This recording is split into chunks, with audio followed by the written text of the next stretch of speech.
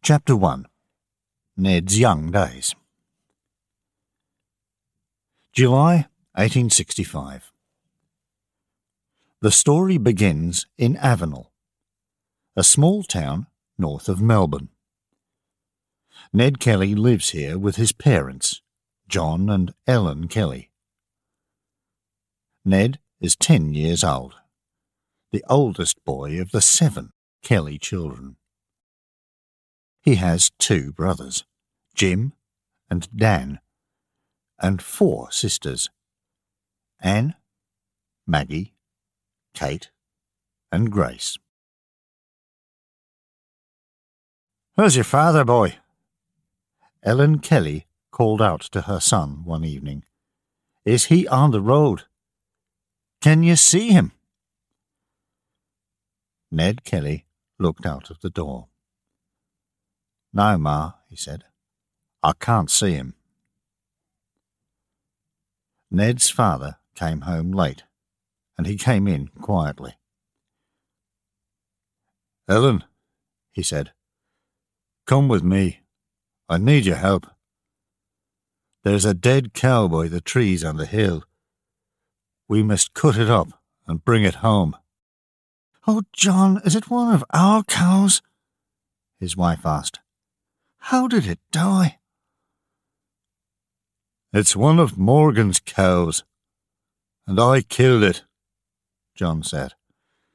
So we must be quick before he comes looking for it. Oh, you fool, said Ellen. In the children's bed in the next room, Ned listened to this. It was a small house with only two rooms and you could hear everything. Ned was pleased about the dead cow. They didn't often have meat to eat, and the children were always hungry. But dead cows bring trouble. Three days later, there was a policeman at the door. John Kelly, you killed Morgan's cow, and I'm taking you to prison. That was the end of school for Ned Kelly. He was the man of the family now. He helped his mother, and he worked on the Kellys' farm. The farm was not very big, and life was not easy for the Kellys. John Kelly and Ellen Quinn were from Ireland. They first met in Melbourne and then came north to find land for a farm. Many other Irish people did the same thing. Everybody wanted land, but some people had a lot more land than other people. It was a hard, wild life. There was a lot of drinking, a lot of fighting, a lot of stealing. Horses, cows, dead or alive. John Kelly was in prison for six months. Prison was not good for him, and when he came out, he began to drink. A year and a half later, he was dead. What are we going to do now, Ma? Ned asked. Ellen thought about it. She was a tall, strong woman, and all her life she was a fighter. She had twelve children in the end, and was ninety-three years old when she died. We must leave here, she said. We must go to the northeast and live near my family. The Kellys' new house was at Eleven Mile Creek, near Greta. They had some animals and a small garden, and Ned worked hard to get money for the family. He could do farming work, take care of horses and cows, cut down trees. But trouble was never far away. The police did not like the wild Kelly boys or their friends. In 1870, when Ned was 15, he hit a man very hard in a fight, and the police put him in prison for six months. The next year, something worse happened. Ned was in the town of Greta on a brown horse when policeman Hall came up to him. Ned Kelly, you get down and come with me. You stole that horse and I'm taking you to prison. That's not true, said Ned, and then there was a terrible fight. Policeman Hall had a gun, and Ned did not. But Ned was the better fighter. In the end, Hall called for help, and five men came to help him. Next day, they took Ned down to Wangaratta, and he went in front of the judge. It's not my horse. It belongs to a man called Wild Wright, Ned told the judge. Wright was at my mother's house, and his horse ran away. He needed a horse, so I gave him one of my horses. And he said to me, When you find the brown horse, you keep her for me. And so when I found the horse, I kept her. Ned Kelly stole that horse, Policeman Hall said. It belongs to a man in Mansfield, and someone stole it on the 6th of March. Well, Ned said, I was in Beechworth prison up to the 29th of March. How can I steal a horse when I'm in prison? And Wright told me it was his horse. I didn't know it was a stolen horse. But it is a crime to have a stolen horse. Wild Wright, of course, stole the horse, and he went to prison for eighteen months. But they put Ned Kelly in prison for three years. When he came back to Eleven Mile Creek in 1874, things were very different.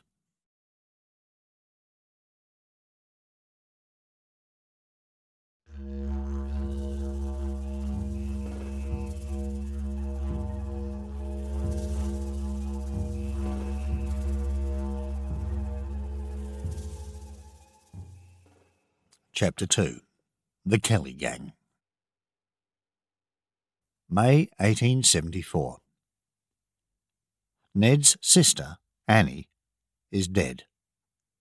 His brother, Jim, is in prison, five years for stealing cows, and his brother Dan is often in trouble too. There are new faces at home, a new husband and a new baby for Ned's mother. Ned! Is that you? Oh, Ned! Ellen Kelly ran to the door. Ned, now nineteen years old, tall and strong, was home from prison. He put his arm round his mother. Hello, Ma, he said. Oh, Ned, it's good to see you, said Ellen. I heard about Jim, Ned said. And little Annie. Poor, poor Annie, said his mother. She was so ill after she had the baby, and we couldn't do anything to help her. And poor Jim got five years. Yes, that's hard, said Ned. And what about you, Ma? I hear you've got a new husband. He looked at the sleeping baby in his mother's arms. He's a good man, Ned. Little Ellen here, she's his daughter. Ned touched the baby's little hand. I'm happy for you, Ma, and I'm happy to be back. Ned soon found work. He moved from farm to farm, cutting down trees and helping with the horses and cows. He often came home to see his mother, and he and George King, Ellen's new husband, were soon friends. George was from California and was only five years older than Ned. On one visit home, Ned talked to George about the police. Why do they give me all this trouble? he said. I don't know, said George.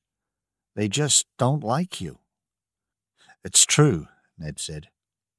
When somebody loses a cow or a horse, the police always come to me with their questions.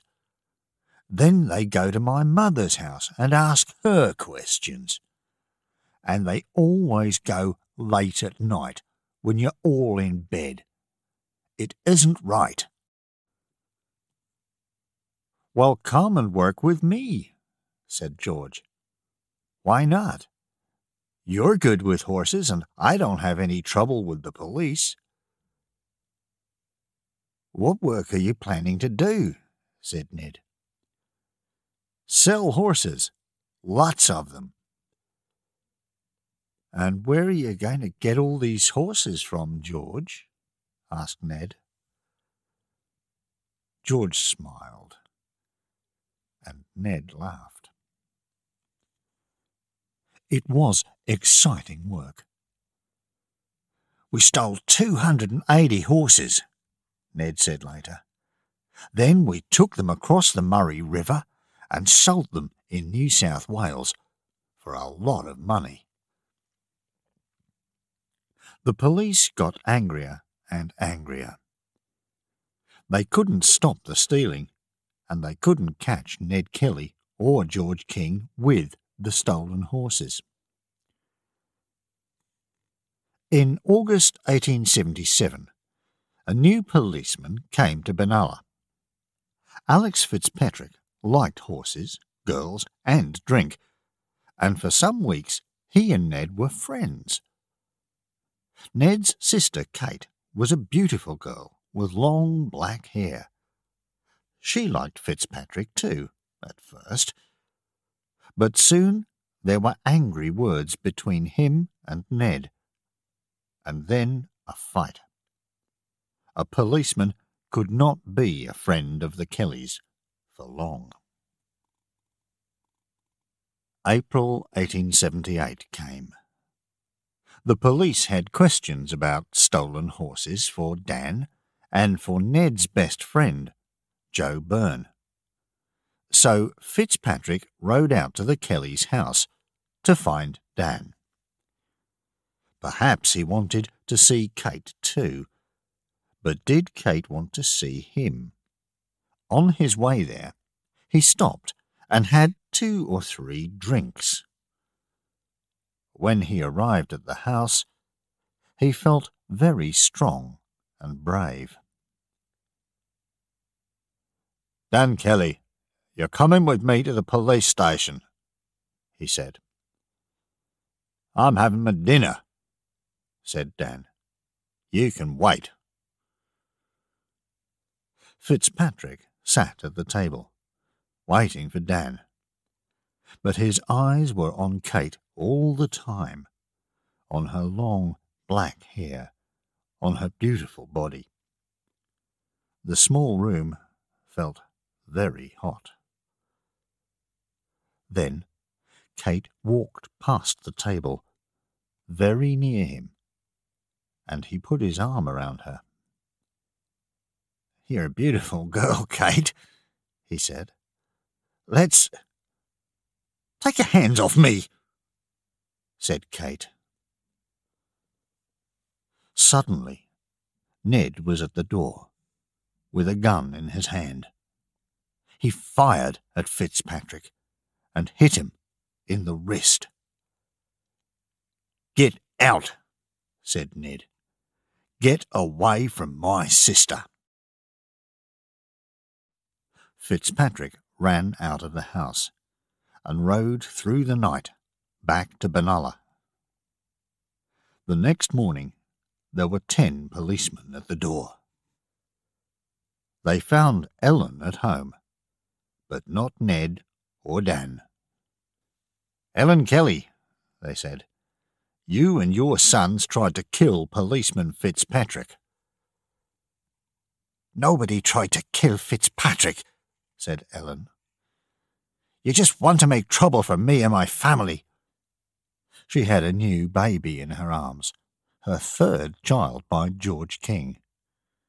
But George did not live with Ellen now. Mrs. Kelly, where are your sons? said a policeman. Ellen looked into the policeman's eyes. I don't know, she said.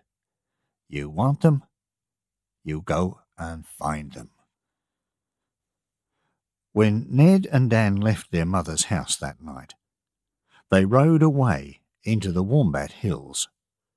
At Bullock Creek, miles from anywhere, they built a small hut. They lived wild and looked for gold in the river. Joe Byrne, Ned's good friend, went with them, because he needed to hide from the police too, and in June, three months later, Steve Hart, another good friend, came out of prison. He, too, got on his horse and rode to Bullock Creek. So, there were four of them. Then, in October, Ellen's brother came to find them with some terrible news.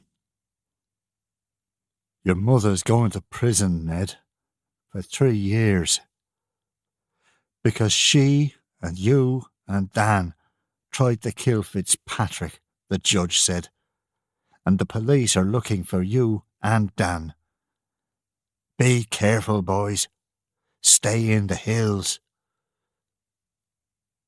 For a second, Ned's eyes were red like fire. He spoke slowly and coldly. They can look, he said, but they can't catch me out here. He looked at his brother Dan and his friends Joe and Steve. These policemen, these judges. They're worse than dogs.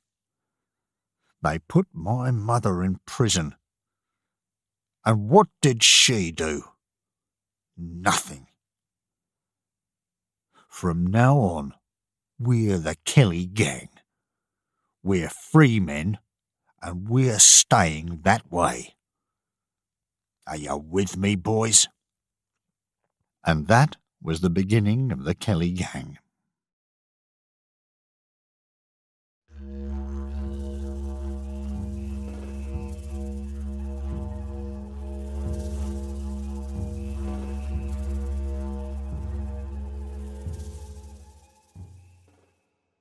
Chapter 3 Three Dead Men October 1878 Four policemen ride north from the town of Mansfield. Kennedy, McIntyre, Lonergan, and Scanlon are on their way to Stringybark Creek in the Wombat Hills. They plan to camp there for a week, look for the Kelly gang, and bring them back to Mansfield, dead or alive. Very early one morning, Ned and Dan left Bullock Creek. Joe and Steve waited at the hut. Walk quietly, Dan, said Ned, and listen. I saw horses' tracks near here yesterday, and I think the police are after us. The police camp at Stringybark Creek was only two kilometres away, and the brothers soon found it. They hid behind the trees and watched.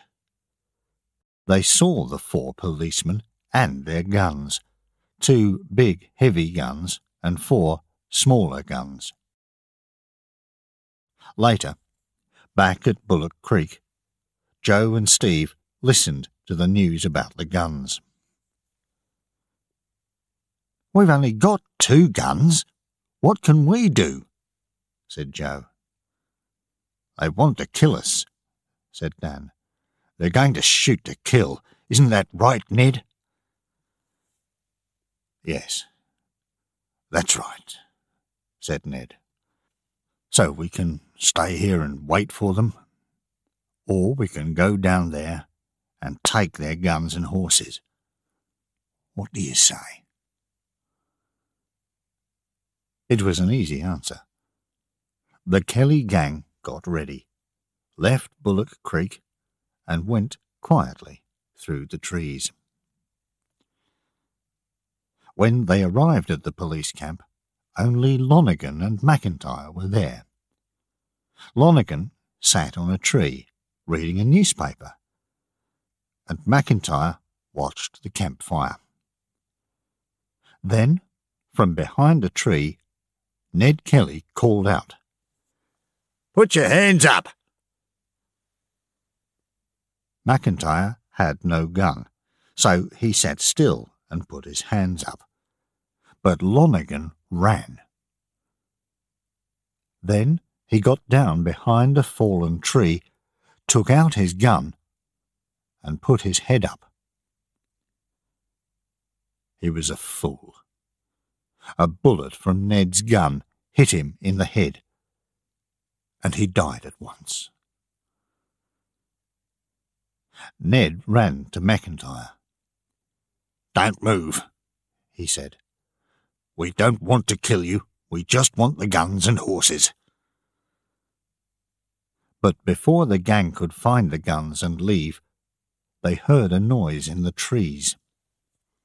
Ned, called Steve. The other two policemen are coming back. Sit on this tree, Ned said to McIntyre. And when you see your friends, Call out to them. Say, don't shoot. Put your guns on the ground. We don't want to kill them, or you. Seconds later, Kennedy and Scanlon rode into the camp. McIntyre stood up and said, Get off your horses and put your hands up. There are men with guns here. Oh, yes, said Kennedy. He laughed at McIntyre. What men? What guns? At once, the Kelly gang came out of the trees, and Ned called, Put your hands up! Everything happened very quickly. A bullet from Ned's gun hit Scanlon, and he fell from his horse.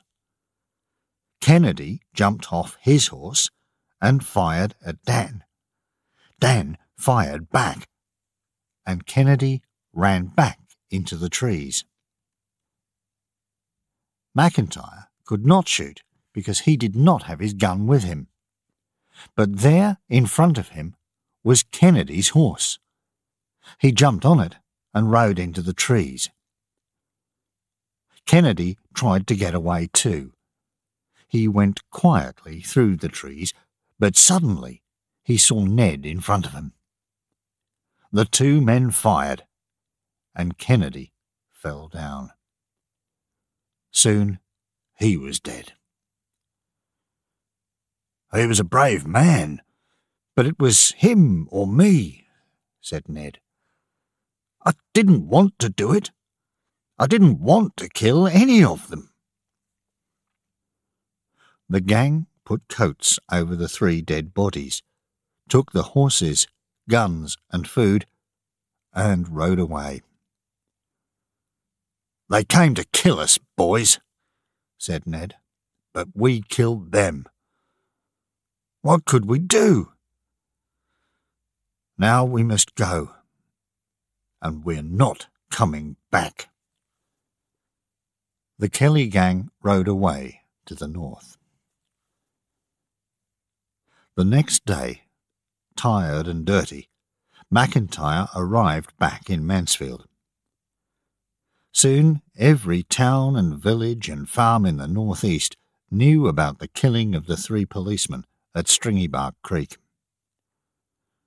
The Kelly gang are killers, said the police. These men are now outlaws, and we must catch them, dead or alive. When you see them, tell us. We're giving £500 reward for news of every man in the gang, £2,000 for all four of them. It was a lot of money. More policemen came to the northeast with more guns, more horses. Ned and the gang stayed in the northeast. They tried to get away to the north, but there was a lot of water in the Murray River and they couldn't get across it. They got help from their friends and moved from place to place all the time.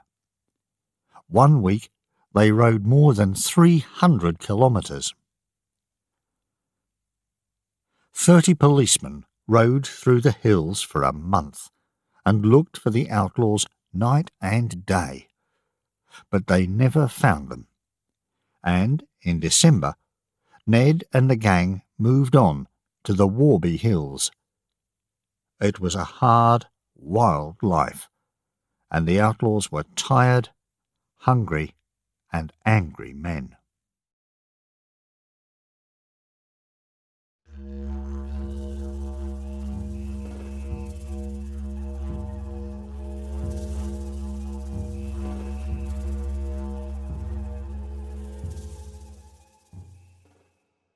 Chapter 4 Two Visits to the Bank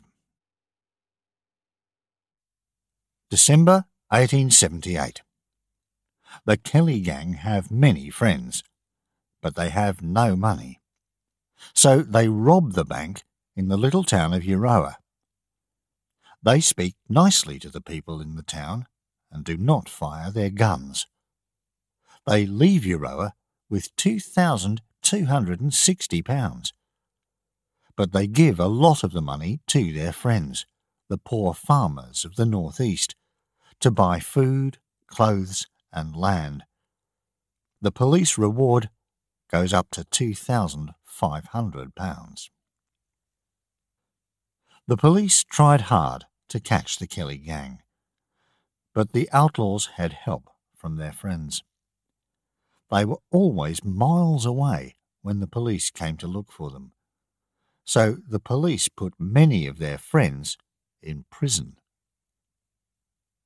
Ned was very angry about this. It isn't right, he said. Why do the police do this? Because our friends are poor farmers, not rich ones, and because they help us. We must stop the police. But how? said Steve. What can we do? Two things, said Ned. First, we need more money, so we must visit a bank. And second, we tell everybody in Australia about the police here in Victoria. Rob another bank? Dan said. But the police are watching all the banks now. Yes, in Victoria, said Ned, but not in New South Wales so we're going to a bank in Jerilderie. Here's the plan. There are only two policemen in Jerilderie. We arrive at night, go to the police station and lock the policeman in the station. Then we rob the bank and go to the office of Jerilderie's newspaper.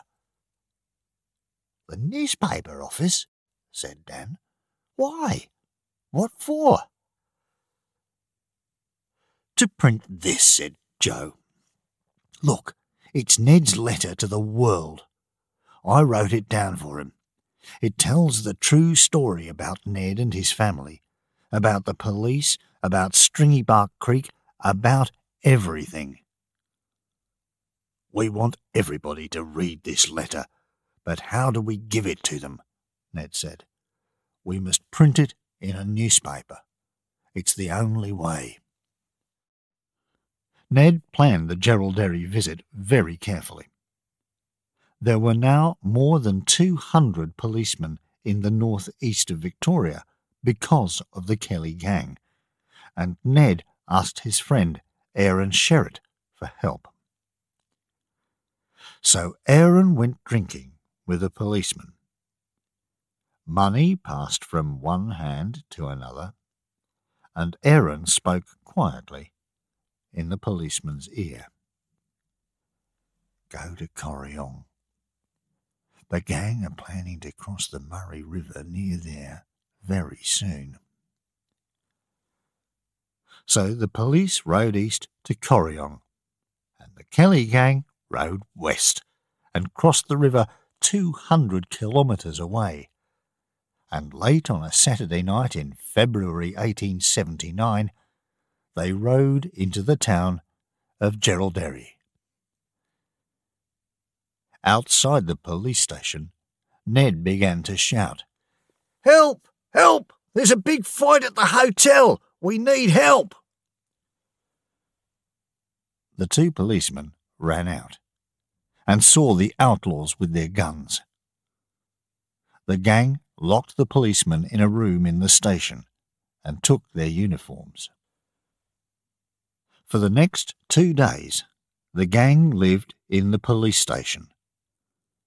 On Sunday, Joe and Steve put on the police uniforms and walked around the town. We're the new policemen for Jerilderie, they told everyone. They went past the bank and the hotel next to it and looked carefully at all the doors, front and back. Then, on Monday morning, Dan and Steve went into the hotel next to the bank and took out their guns. They took all the hotel workers into one room. Don't move, said Dan. You're our hostages, but don't be afraid. We don't want to shoot anybody. Ned and Joe went into the bank through the back door. When they came back to the hotel, they had more hostages two bank workers and all the people from the bank. And Ned had the bank's money £2,140. There were now about sixty hostages in the room, and Ned began to speak to them. What's happening in this country? Do you know? No, you don't.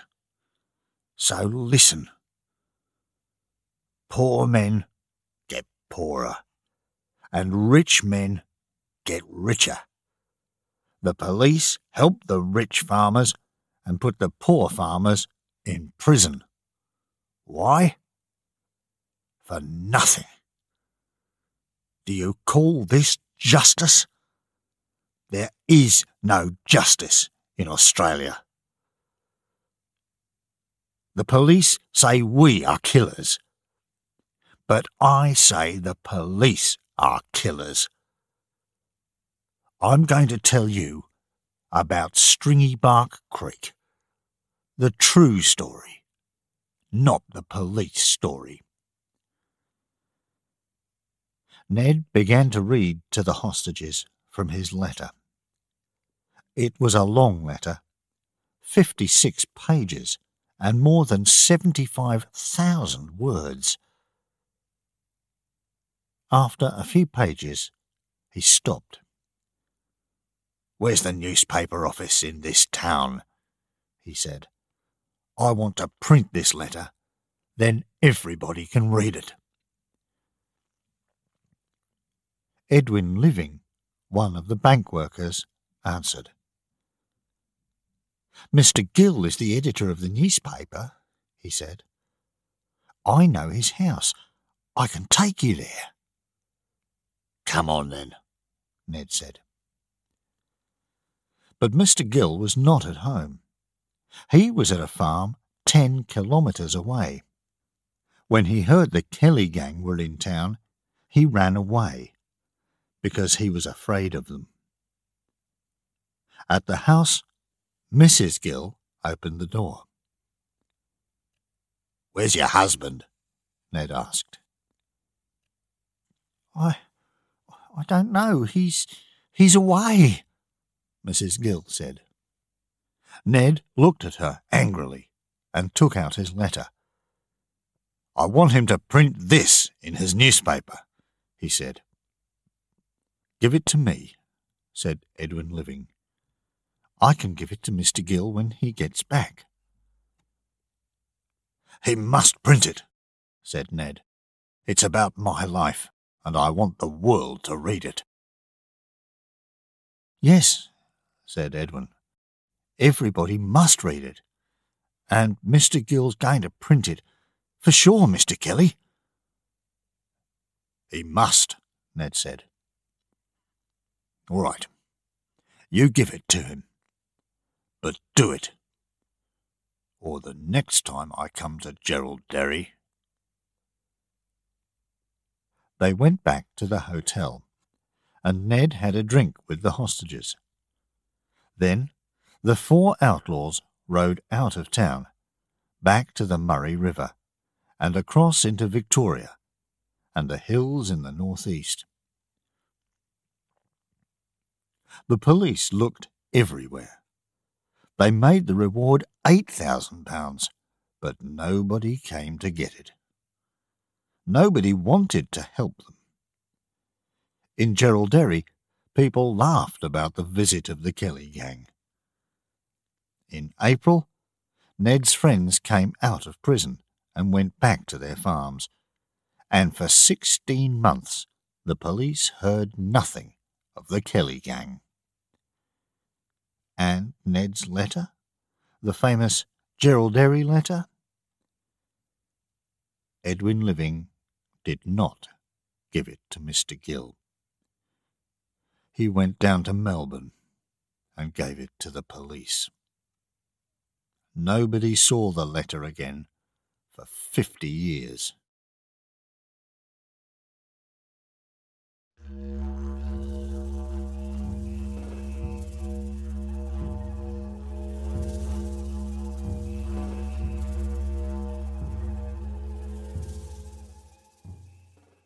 Chapter 5 Alive or Dead at Glenrowan. June 1880. The Kelly gang are living in the hills. Their friends bring them food, but life is hard, and the police are still making trouble. They don't put the Kellys' friends in prison now, but they stop them buying land. And why? Because they are friends of the Kelly gang. We must do something, Ned said, to help our friends. We need a new country, a country for poor people, with good police and good judges. But it's not going to happen easily. We must fight for it. We need money for that, said Joe. A lot of money and there's a policeman with a gun at every bank now. We need armour to go over our heads and bodies, Ned said. Bullets can't get through armour. How are we going to get armour? asked Dan. We can make it, said Ned. And they did. With help from their friends, they made four suits of armour from old farm machinery. Then they began to plan their fight. Our friends want to help, Ned said. They have guns and they want to fight with us, so we need to bring a lot of policemen to one place. How can we do that? With a killing, said Joe. We kill Aaron Sherritt. He's working for the police he tells them everything about us. You know it, I know it, everybody knows it. He was a friend once, but now he wants to see us dead. Yes, that's true, Ned said. We hear it from everybody. So, you go to Aaron's house at Beechworth and shoot him. You and Dan. Right, said Dan. And then, when the Beechworth police hear about the killing, they know it's us, the Kelly gang. So they ask for help from the police at Benalla and the Benalla police take the train to Beechworth, said Steve. Lots of police, all in one train. And we, Ned said quietly, are waiting for the train at Glenrowan.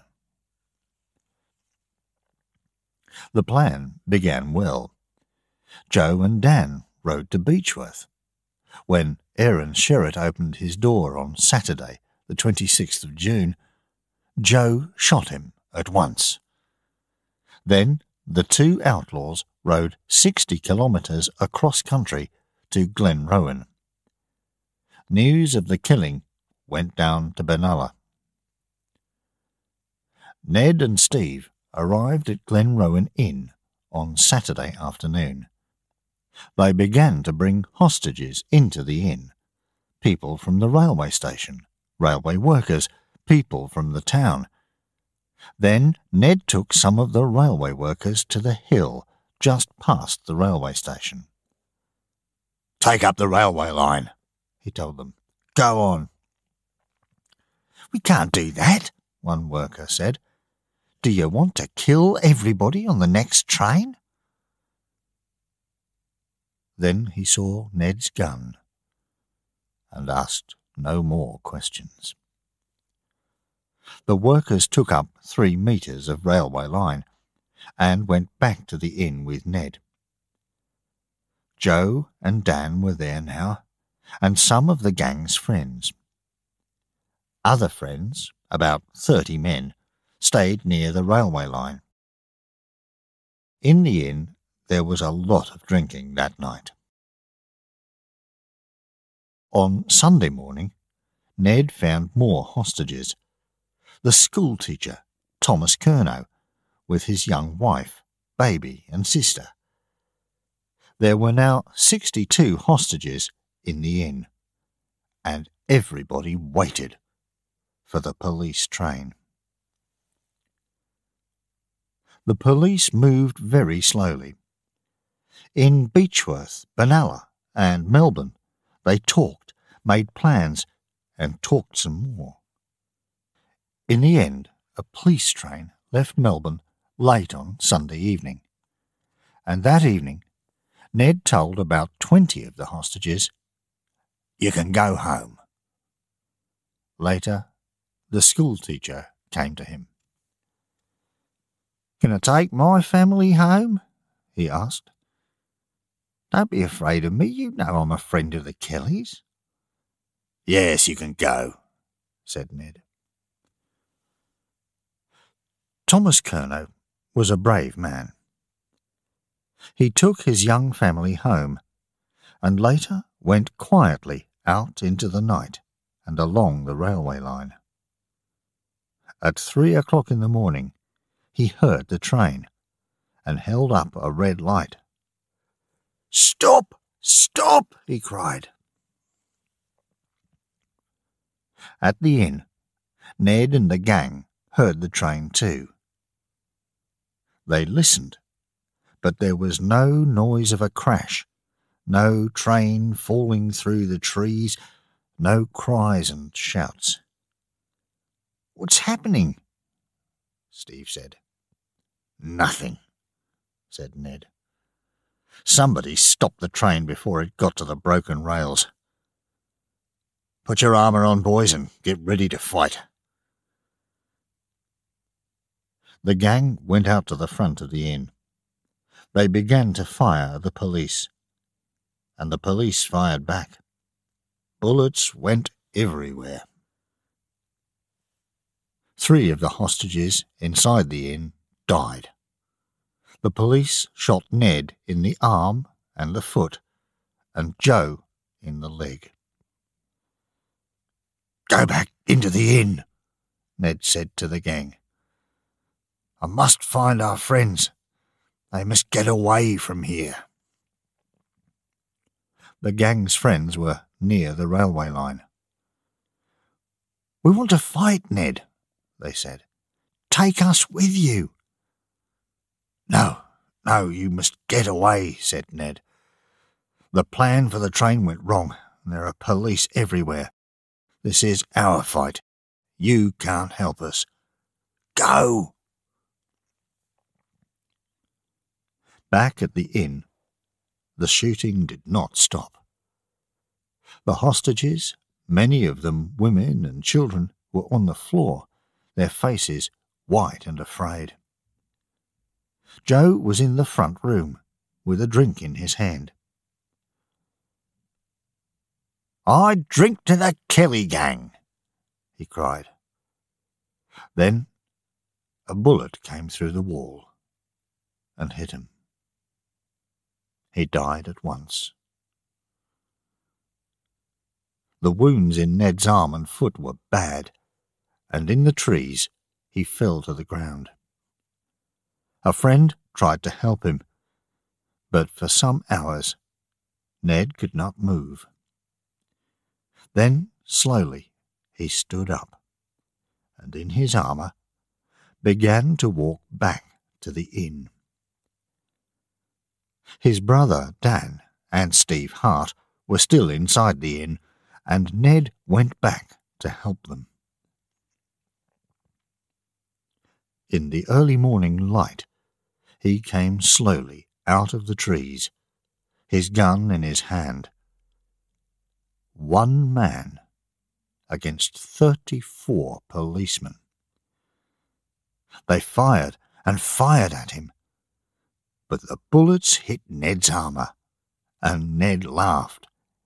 Go on, fire! You can't kill me, he called. But there was no armour on Ned's legs. One of the policemen saw this and fired. Once, twice. The bullets hit Ned's legs, and he fell slowly to the ground. At once, the police were all around him. He was alive, but only just, and they carried him to the railway station. Soon after this, the last hostages left Glenrowan Inn. Only Dan and Steve were still inside, but the police did not stop firing at the building. Later on that Monday morning, a second train arrived in Glenrowan with more police, photographers, and newspaper men. There were now more than a thousand people in the town, and down south, in Melbourne, hundreds of people waited in the streets for news of the Kelly gang. On Monday afternoon, Ned's sisters, Maggie and Kate, arrived in Glenrowan. They heard the news about Ned, and then asked for news of Dan.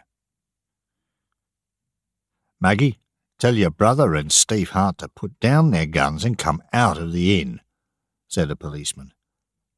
Tell them to stop fighting? Never, said Maggie.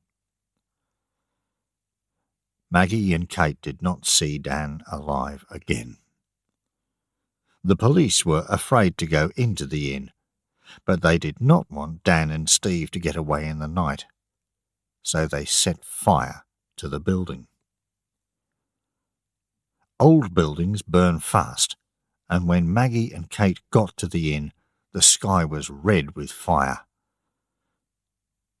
Dan, oh Dan, Maggie called out again and again.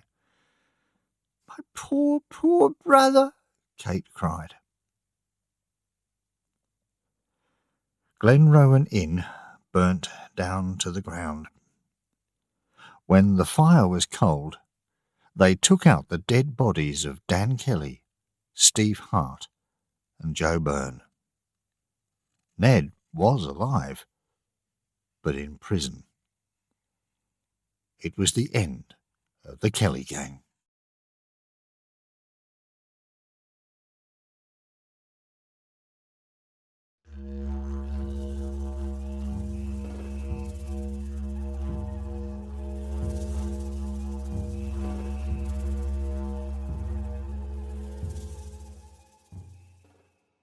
Chapter 6 Ned's Last Days July 1880. The police take Ned Kelly to Benalla, then to Melbourne Prison.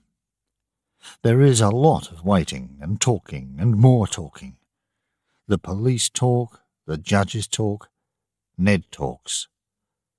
But the ending is always the same.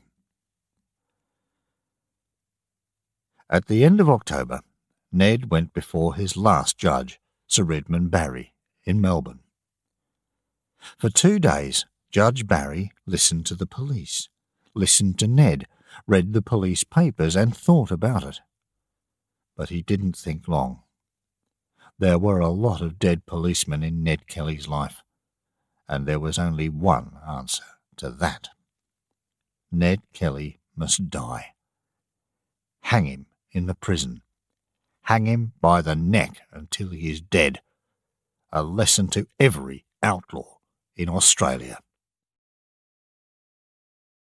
Ned's mother, Ellen, was still in Melbourne prison. When they told her the news, she cried. She cried for her dead son Dan, and she cried for her son Ned, alive but waiting to die. They took her to see Ned on his last day alive. What did mother and son talk about that day? Ned's sisters and brother worked hard to help him. How can they do this? said Maggie angrily.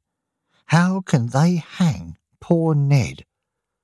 What did the police do to him? Why don't the judges think about that? Shh, Maggie, said Jim. No time for that now. We must get out there and talk to the people in the town. And so they did. They went all round Melbourne, to all the hotels, talking to everybody. They're going to hang Ned Kelly. What do you think about that? They asked. It's not right, said one man. Why do they want to hang him? A second man said. Because he killed a policeman?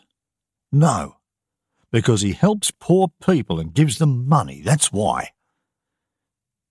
But what can we do? asked a third man.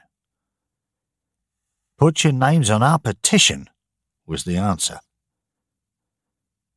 There were more than 32,000 names on the Kelly petition, but the petition changed nothing. So the last visitors came to see Ned on the 10th of November, and he ate his last dinner. Then he sang for half an hour and went to bed. Next morning, they took Ned across the prison to a room with a rope. Outside the prison, more than 5,000 people waited men and women, rich and poor. Where's the Kelly family? one woman asked. Some of them are here at the hotel, was the answer. But Maggie went back to Beechworth yesterday. She wanted to be with her children, and there's Ned's poor mother. She's in the prison too, waiting for ten o'clock. Then the prisoners in Melbourne prison began to make a terrible noise, shouting and crying out and banging on their doors. And in her room, Ellen Kelly cried quietly for her oldest son. In the hotel, Jim Kelly sat with his head in his hands. Poor Ned. This is the end of all his troubles he said. And at ten o'clock, the prison officers put the rope around Ned Kelly's neck and hanged him. Ned was dead. But in the northeast, life went on. Sixty-eight people got money from the Kelly gang reward. Schoolteacher Thomas Curnow got a thousand pounds.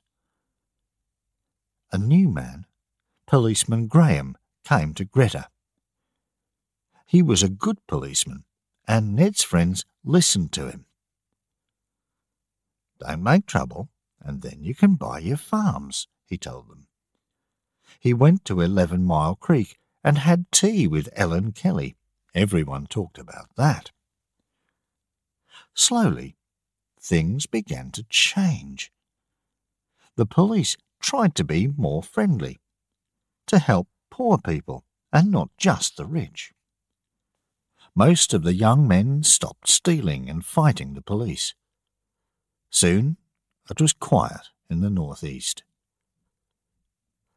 The other Kelly children stayed out of trouble. Jim Kelly was a good son to his mother all her life. Ellen lived to the age of 93 and had many grandchildren. But she never forgot her oldest son, Ned. Who was the real Ned Kelly? Did he fight for the poor or just for Ned Kelly? Some people say he was a brave man. Some people say he was a fool. Some people say he was just a killer, just a wild man with a gun. One thing is sure. More than a hundred years later, people are still talking about him. There are books about him, and songs and films and websites. Everybody still remembers Australia's most famous outlaw.